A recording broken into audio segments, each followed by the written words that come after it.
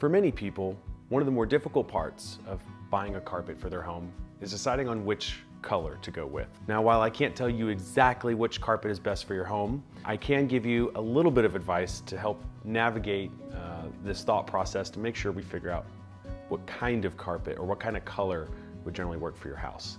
Generally speaking, as a rule of thumb, the lighter the carpet, the larger the rooms feel.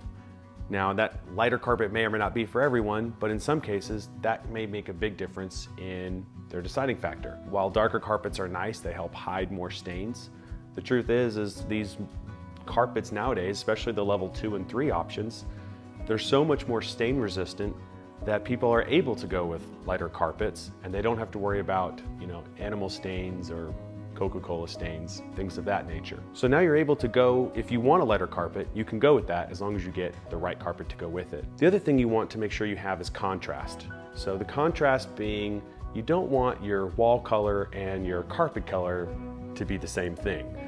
You do want the wall and the carpet to be different colors so you have more of that pop. So for example, if you have darker walls, you may want to consider a lighter carpet or vice versa. So if you have very light walls, you might want to go with a maybe medium or slightly darker colored carpet because again, that contrast is what's gonna create that wow factor right when you walk in the room.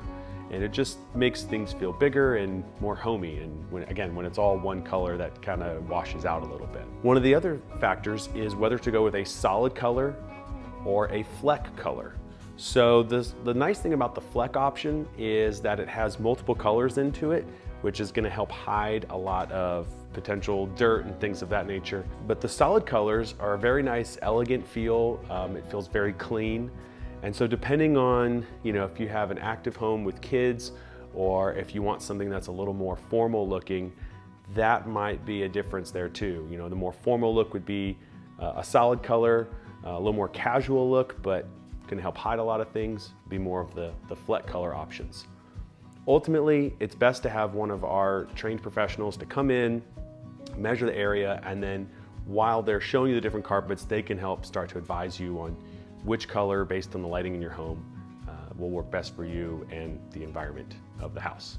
If you have any additional questions, please don't hesitate to send us an email at contact at carpetnow.com.